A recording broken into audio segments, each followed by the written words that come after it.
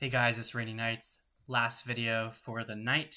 This is going to be the Hunger Games movies ranked from worst to best. There are five of them. I actually just watched the uh, the uh, Ballad of Songs and Snakes today, um, and uh, yeah, won't spoil how I felt about it. But uh, I'd recommend go watching my review if you haven't already. I it was a lot longer than most of my reviews, so that's how you could tell I was passionate about it. Well, now I just spoiled it, but yeah. So, last place, The Hunger Games Mockingjay Part 1.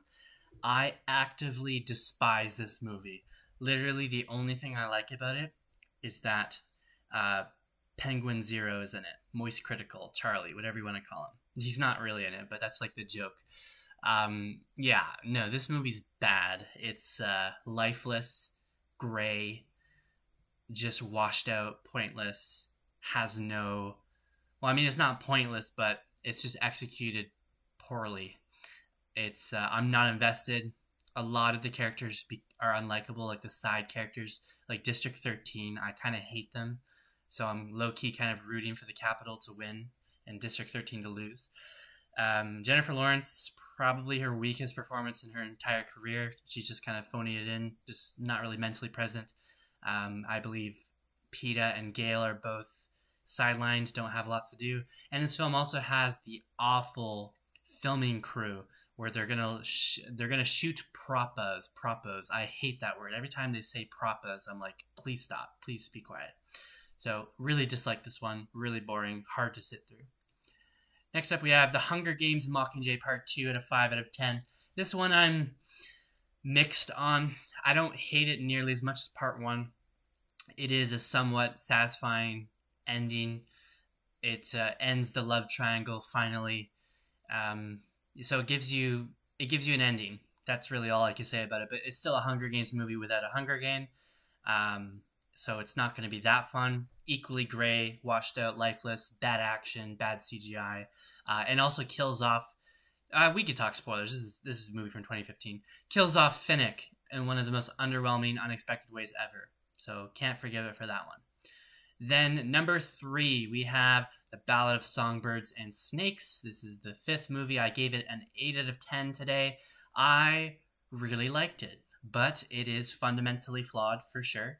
Um, so if you want to be a hater of this film, which I'm not, but if you want to, there are quite a few things to latch onto. First of all, it is a kind of unnecessary prequel that is humanizing an evil character that we already know has to turn evil by the end of the film. Uh, yes, it has a Hunger Game, which is very nice, but it is the worst Hunger Game in the series.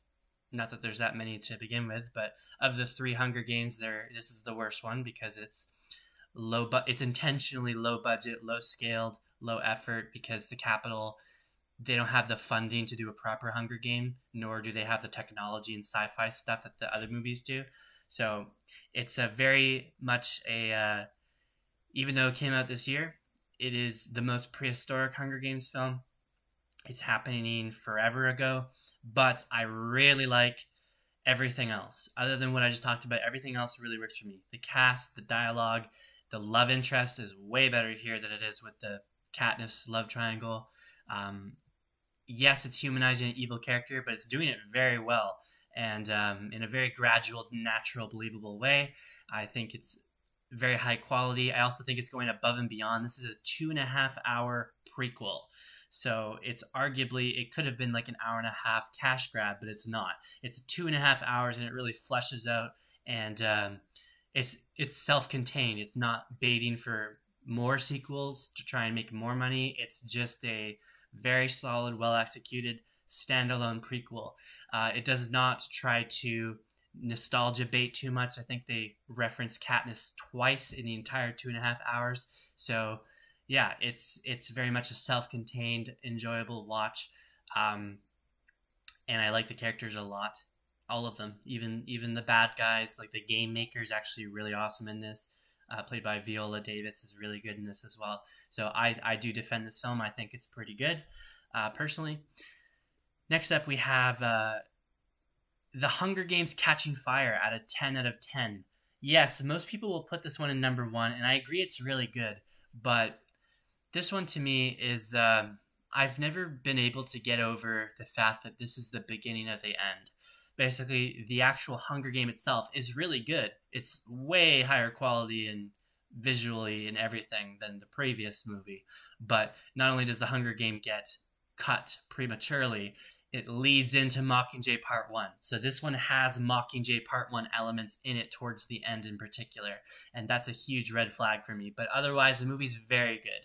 Cast is excellent. Woody Harrelson, awesome. The whole marriage thing is really, really good. Uh, kind of saves the, the terrible love triangle just a little bit with that marriage stuff.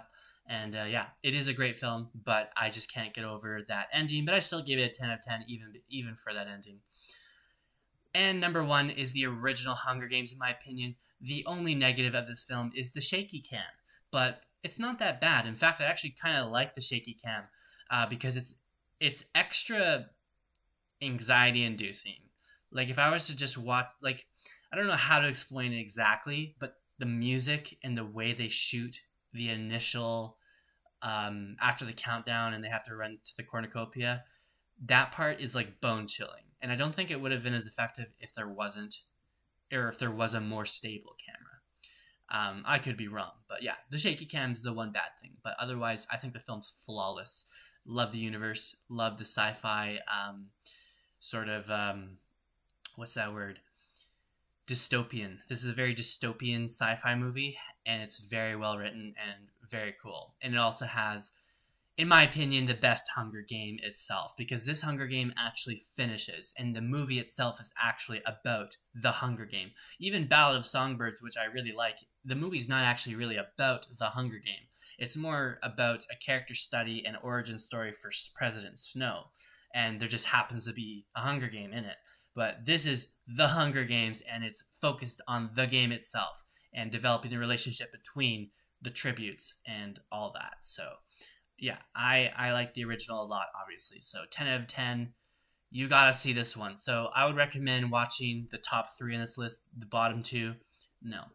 If anything, Mockingjay Part Two, you can just go get a uh, bullet point list of the big events that happen. If you want to learn what happens, it's really not worth your time. So just watch the top three. Don't bother with the bottom two.